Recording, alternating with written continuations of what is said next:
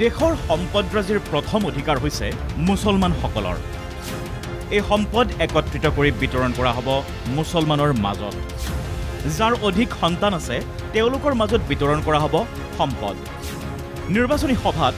কংগ্ৰেছক আক্ৰমণ কৰিবলৈ গৈ এই মন্তব্য প্ৰধানমন্ত্ৰী মোদীৰ और पहले जब उनकी सरकार थी उन्होंने कहा था कि देश की संपत्ति पर पहला अधिकार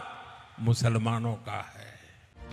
প্ৰধানমন্ত্ৰীৰ এনে মন্তব্যৰ পাছতে জাঙুৰ খাই উঠিছে কংগ্ৰেছৰ লগতে বিৰোধী দলসমূহ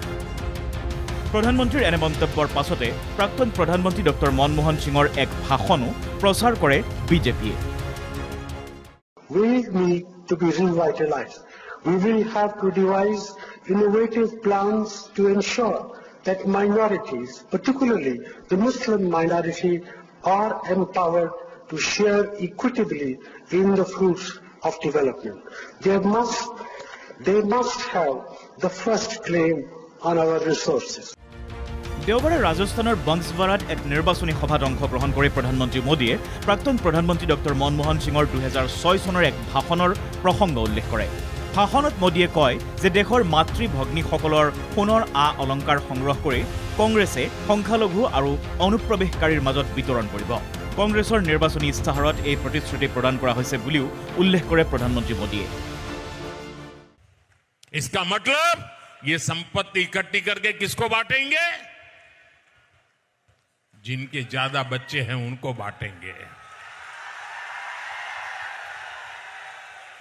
घुसपैठियों को बांटेंगे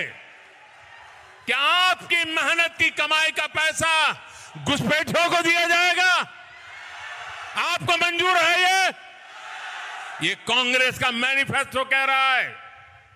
कि वो माताओं बहनों का सोने का हिसाब करेंगे उसकी जड़ती करेंगे जानकारी लेंगे और फिर उस संपत्ति को बांट देंगे और उनको बांटेंगे ইয়াতে ক্ষান্ত নাথাকি মোদীয়ে কংগ্ৰেছক আৰবান নক্সাল ৰূপেও অভিহিত কৰে আৰবান নক্সালৰ চিন্তাধাৰাৰে পৰিচালিত কংগ্ৰেছক প্ৰত্যাখ্যান কৰিবলৈ আহ্বান জনাই প্ৰধানমন্ত্ৰী মোদীয়ে লগতে কয় যে কংগ্ৰেছৰ পথ ৰুদ্ধ কৰাৰ এয়াই উপযুক্ত সময়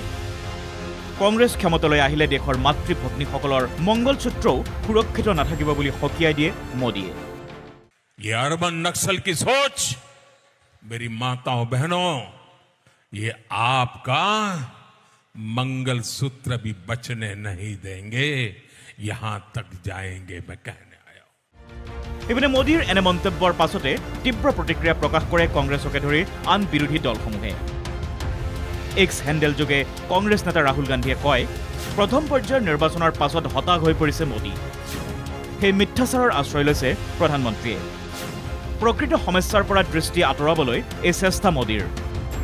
কংগ্ৰেছ নেতা জয়ৰাম ৰমেশে মোদীক সমালোচনা কৰি কয় যে প্ৰধানমন্ত্ৰীয়ে বিভিন্ন সময়ত বিষবাষ্প বিয়পোৱা মন্তব্য কৰি আহিছে।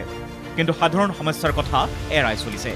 দুহেজাৰ এঘাৰ চনৰ পাছত দেশত কিয় লোকপ্ৰিয়ল অনুষ্ঠিত কৰিবলৈ মোদীয়ে সাহস কৰা নাই বুলি প্ৰশ্ন কৰে কংগ্ৰেছ নেতাজনে। মোদীৰ মন্তব্যত প্ৰতিক্ৰিয়া প্ৰকাশ কৰি এ আই এম আই এমৰ নেতা আছাদুদ্দিন ওৱেচিয়েও কয় যে দুহেজাৰ দুইৰ পৰা মুছলিমসকলক নিৰ্যাতন কৰিয়ে ভোট আদায় কৰি আহিছে। মোদীৰ আমোলত সকলো সম্পদ তেওঁৰ ধন কুবেৰ বন্ধুৰ হাতলৈ যোৱা বুলিও অভিযোগ কৰে ওৱেচিয়ে national desk N K TV plus